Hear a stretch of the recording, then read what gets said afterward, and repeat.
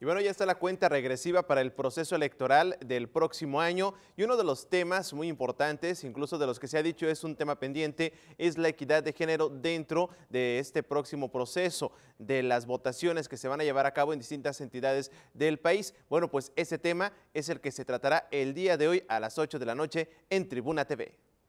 En el proceso electoral de 2015, la equidad de género será una realidad pues habrán de competir las mujeres por la misma cantidad de cargos de elección popular que los varones. Esta contienda será posible en las urnas, luego de las reformas a la Constitución, recién impulsadas por el presidente Enrique Peña Nieto y aprobadas en las cámaras federal y próximamente local. En Nuevo León, el pasado mayo, se aprobó en primera vuelta el proyecto de modificación a la Constitución local, con la pretensión de hacerla extensiva hasta a los ayuntamientos. Sin embargo, para que se pueda aplicar en el año 2015 en Nuevo León, la 73 legislatura en el Congreso tiene como plazo aprobar la segunda vuelta hasta el 30 de junio de este año.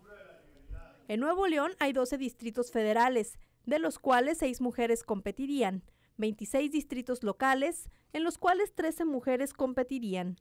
Las suplentes de las candidatas deben ser mujeres también, en caso de que sea aprobada la ley.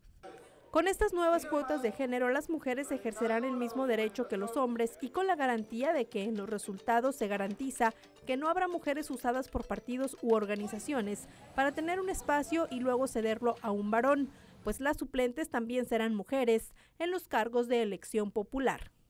Nelly Juárez, Noticieros Televisa.